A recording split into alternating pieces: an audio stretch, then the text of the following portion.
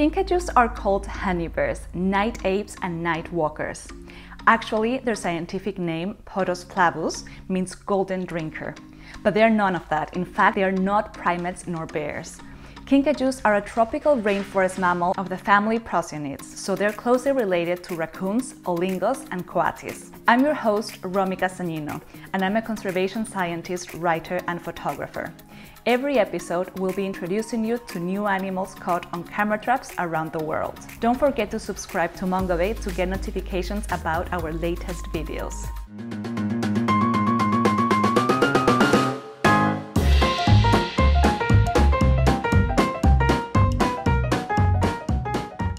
Kinkajous live in the forests of Central and South America, from southern Mexico to Bolivia. They spend most of their time in the trees and to make their arboreal life easier, they have a long prehensile tail which allows them to maintain balance when moving through the branches. Not only that, but their ankles can rotate 180 degrees, allowing them to get down trees head first. Kinkajous are rarely seen by people due to their nocturnal habits. These animals sleep during the day in tree hollows and family units and search for food at night.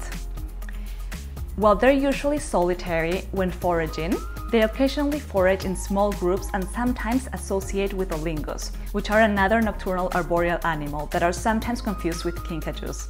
On their travels, they mark the territory using scent glands, which are found at the corner of their mouth, their throat, and their abdomen. Although they're classified as carnivores and have sharp teeth, their diet consists mainly of fruit, particularly figs, and so they play an important role in seed dispersal. Kinkajous also have a long and narrow tongue that is highly maneuverable. This helps them lick nectar from flowers.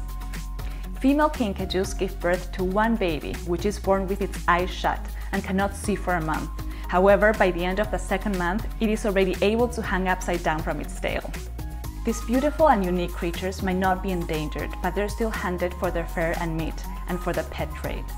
In the next episode, we'll be meeting a marine animal that uses tools.